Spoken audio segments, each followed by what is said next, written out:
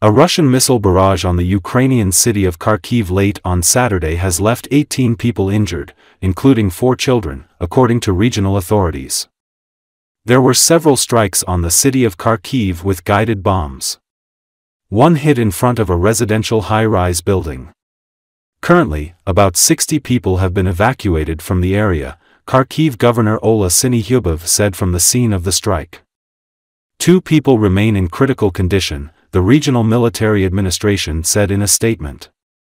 The strikes were carried out using Russian military aircraft delivering FAB-250 guided missiles that struck northern districts of the city proper as well as several locations in the surrounding suburbs. Two standalone houses outside the city limits caught fire but resulted in no injuries, the administration said. Scores of vehicles and other structures were damaged in the aftermath of the strikes as well, authorities added. Там наразі без руйнувань та відповідно без постраждалих.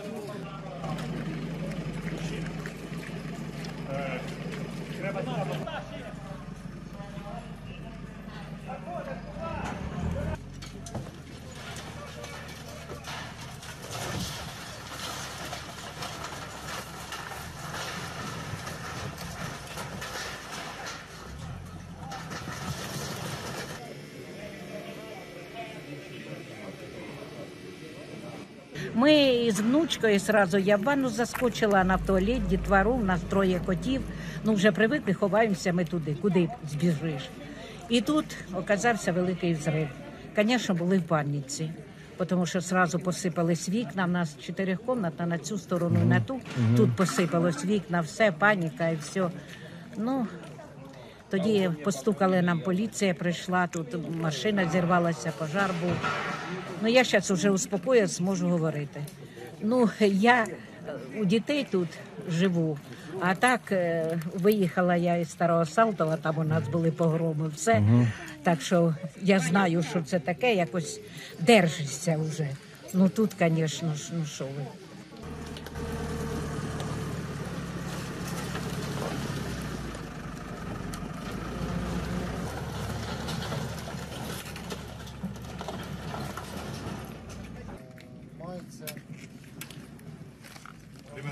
давали уже направление?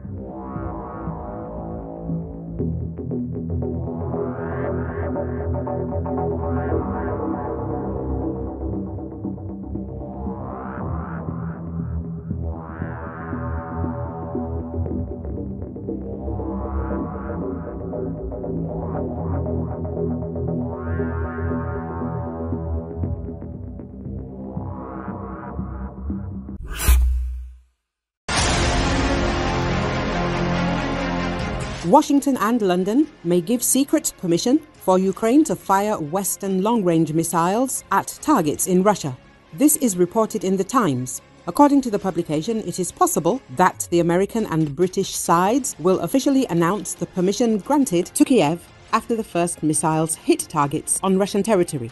It is noted that the US first wants to see Ukrainian leader Volodymyr Zelensky's plan for how the use of long range weapons will help Ukraine survive the war in the winter.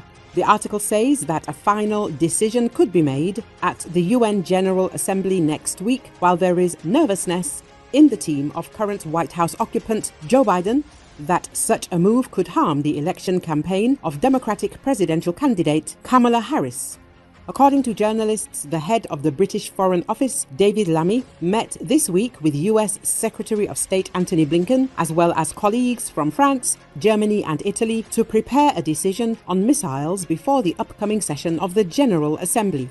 The publication's sources clarified that the meeting was intended to demonstrate that NATO allies were acting as a single entity and to refute assumptions that Washington and London were playing a dominant role in decision making. Earlier, Dialogue.ua reported that the White House confirmed the planned meeting between Biden and Zelensky in the American capital.